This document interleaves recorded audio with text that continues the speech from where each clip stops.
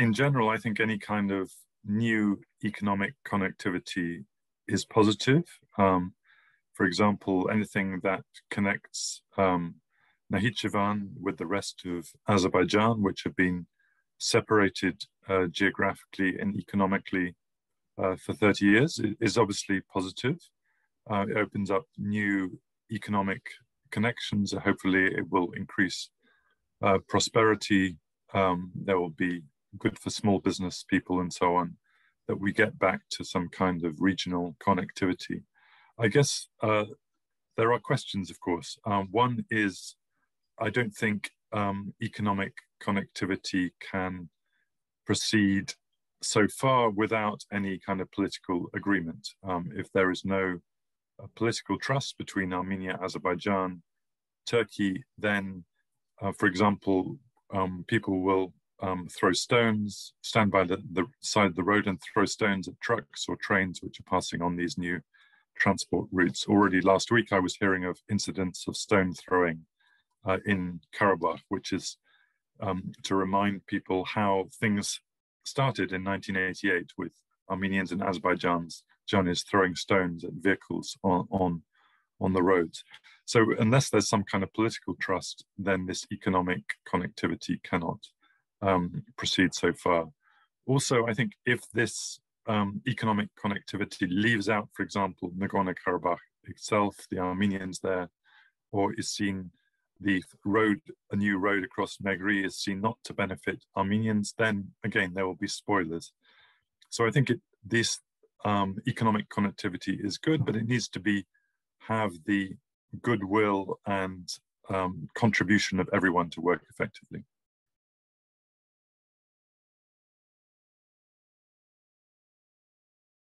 Well, of course, this will be competition for the Baku-Tbilisi Kars railway. I, I do expect eventually that there will be a new uh, rail connection which would go Baku, Khoradiz, Megri, um, Nakhchivan, Yerevan Kars, for example. That's a natural uh, connection with, with also a, a, route down south to Iran. Of course, this um, I think this is uh, a natural route. It's a lowland route along the river um, there's not there are no mountains there to cross. It's a natural route which was there um, 30 years ago.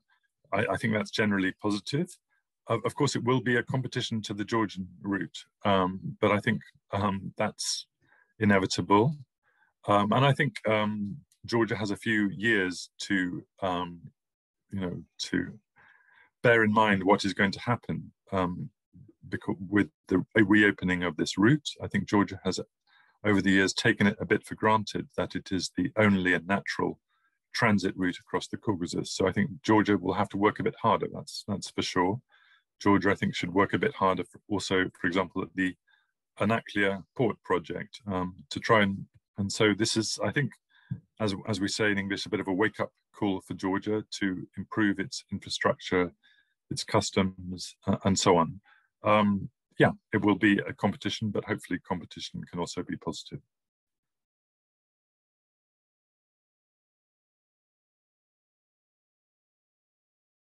One should say that I could understand Armenian perceptions given Turkey's active role in the recent war, the use of Turkish drones, which was obviously decisive in the Azerbaijani victory, the Armenian defeat, the um, President Erdogan's participation in the victory parade on December the 10th in Baku, and that, that he even uh, mentioned Enver Pasha, one of the three leaders who destroyed um, you know, 1 million Ottoman Armenians in 1915. All of these factors obviously increase the perception of threat in, in Armenia towards Turkey, and I can understand that. Having said that, I don't personally think that this that there is a real um, threat to the Republic of Armenia from Turkey. Um, and I, I, think on the level of rhetoric, we can see some kind of increase in Turkish interest in the Caucasus. But I don't, I still don't believe that the Caucasus is a priority area of interest for Turkey or for President Erdogan. Um, I think it's important to note that during the conflict, he made a lot of statements about how he wanted to dissolve the Minsk group, how he wanted Turkey to be a um, one of the mediators. There was talk of a joint peacekeeping force. None of that happened. We, we ended up with a Russian peacekeeping force and a few symbolic, 50 symbolic Turkish monitors, um, you know, outside um, a long distance from from the Karabakh Armenians.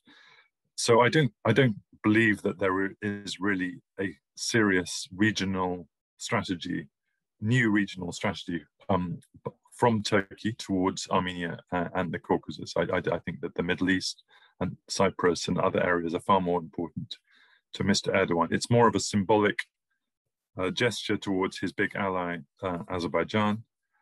Um, and we're also seeing, uh, on the contrary, some contrary um, you know, suggestions from Turkish officials about opening the border with Armenia. So um, it's a threat um, perception in Armenia, but I don't believe that there is any real um, significant and actual threat um, by Mr. Erdogan uh, towards Armenia. It's it's more on the kind of symbolic and ideological level.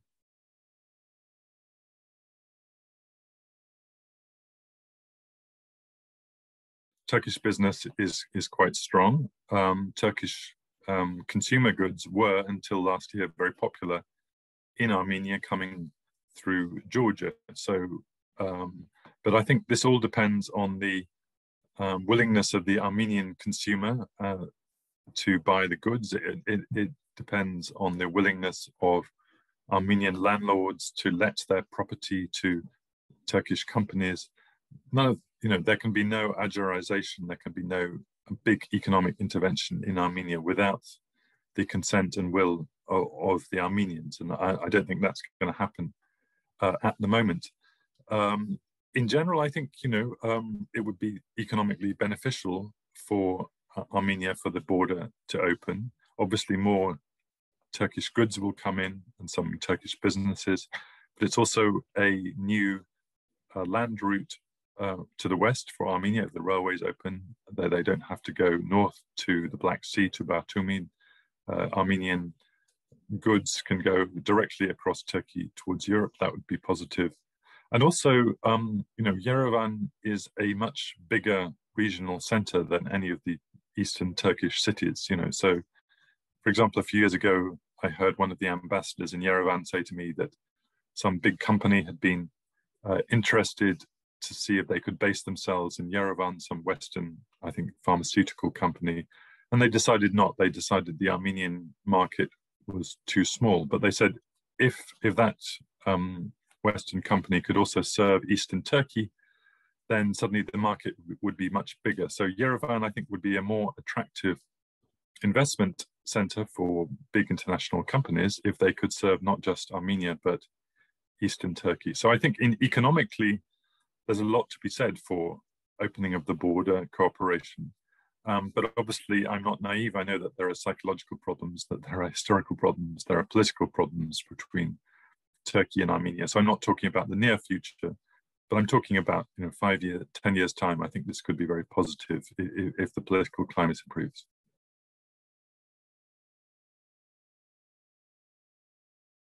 It's a it's a very important question which requires uh, a long answer. I wrote I wrote a whole book uh, entitled "Great Catastrophe," which sort of in very much of which deals with these issues.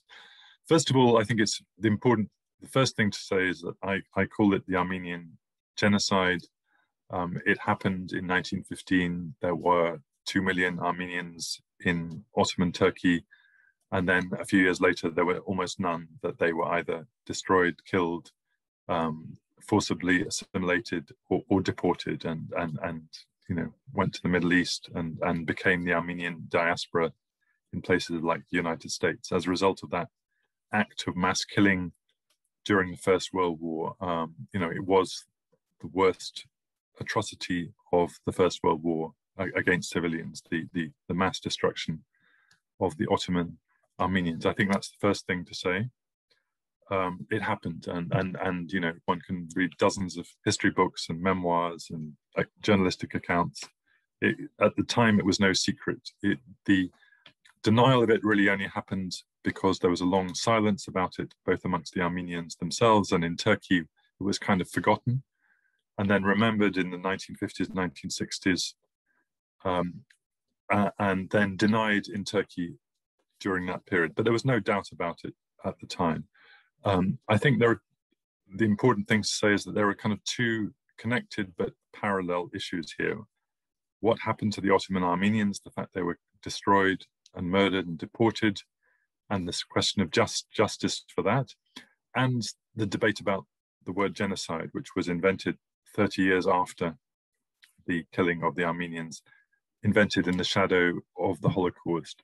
Um, I understand why um, it's important for Armenians to use the word genocide, um, which was invented in 1944 in the shadow of the Holocaust. Um, but I think it's a shame that it's become the only question um, because, you know, I think uh, we call we talk about the Holocaust, about the Shoah. There doesn't there's not this focus on the legal technical word genocide when it comes to the Holocaust. And in the Armenian case, unfortunately, it's, it's as though this one legal technical word genocide has taken up all the debate. I, I, personally, I would I would call it the Armenian genocide, but I would hope for a bigger debate about justice, about cultural monuments in Turkey, about history, about memory, about reconciliation, all those things. Um, and I don't, um, you know, I, I think that the, the genocide debate has crowded out those uh, discussions. So um, it's quite possible that the US government will use the word genocide. Um, I think they, they probably should, but they should also, that shouldn't be the end of the story. That should be the beginning of, of a wider discussion about history, about what happened in the First World War, also what happened to uh, other people during that, that period who also suffered, many Turks and Kurds and Azerbaijanis also suffered during that period. So I would like to see a, a broader discussion. And I would also hope um, that people who start to use the word genocide officially for the first time understand there could be some negative repercussions also in Turkey, particularly for the small um, Armenian community in Istanbul, possibly even some negative re repercussions for the Armenian monuments in Turkey, although I hope that won't happen. Um, it's important to remember that the you know the coalition part of partner basically of, of the current government in Turkey is the very nationalist MHP party. So I think, you know, it would be normal if if if the US government calls this a genocide, almost everyone else does around the world, but they sh they should. Uh, it would be naive to expect that this will will not have some kind of impact, and I hope it could be part of a bigger discussion about uh, justice and memory for the Armenians and reconciliation with Turks rather than just a uh, the kind of um, a one small political gesture on on behalf of the U.S. government. Um, and you asked me a question. You asked me a question about Mount Ararat. I mean, I heard, I, I, I saw those reports. I guess end of last year. I haven't heard anything.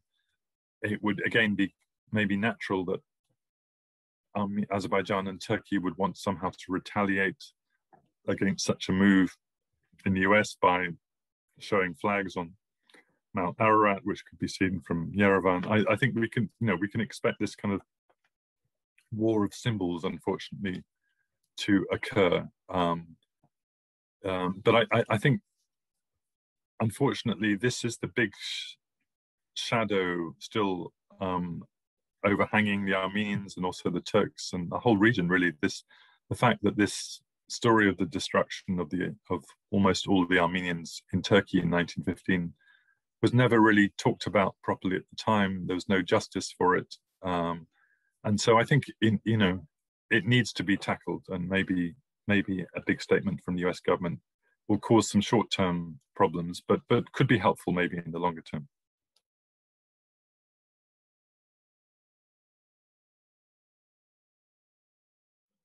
the situation with archives, I think, is a bit different on each side. Um, first of all, I think we know an enormous amount. I, I think we know, you know, 95% of the story of what happened. Um, there are Armenian church archives have been opened. There are a lot of Turkish documents. There are masses of diplomatic documents from, you know, US and, and British diplomats and aid workers and journalists and lots, thousands and thousands of memoirs and oral histories. So I don't think we're going to learn a huge amount.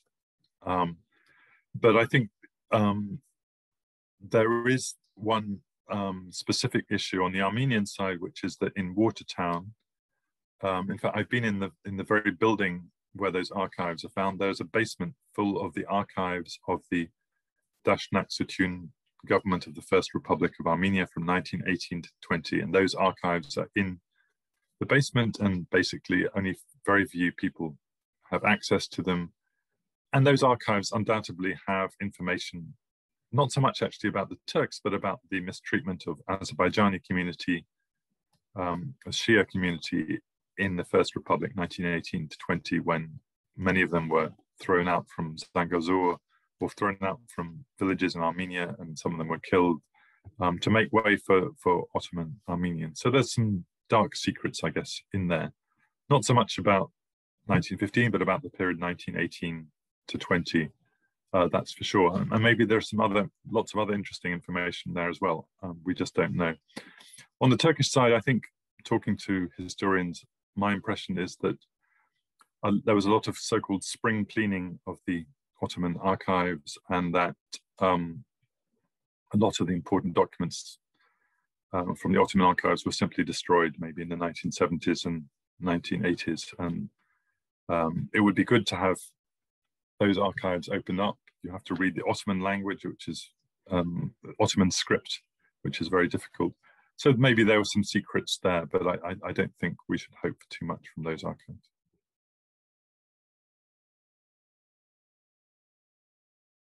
Well, I mean, obviously, it would be very negative if there was a, a, a, big military escalation in, in Donbass. There's already been a small one. Um, but I don't think it would have a big impact on the Caucasus, to be honest. Um, I think President Erdogan, I didn't I didn't really answer your question about Russian-Turkish relations. I think has quite a good mutual understanding with President Putin. The two men they talk, uh, they disagree on a lot of issues, but they understand each other. They think in quite a similar fashion. They're both uh, quite cynical realpolitik politicians. Um, and I don't believe that President Erdogan really cares about Ukraine. Um, he hasn't shown much sympathy for the Crimean Tatars, to be honest. Much, um, many people have expected him um, to show much more sympathy for them. So I don't, I don't believe that he's going to make a big issue of a, of a new escalation in Ukraine. I don't believe the Armenians um, want to get involved. Um, they still have a diplomatic relations with Ukraine. So I, I, I, I don't it would of course be negative, but I don't think it would have a major impact on the Caucasus.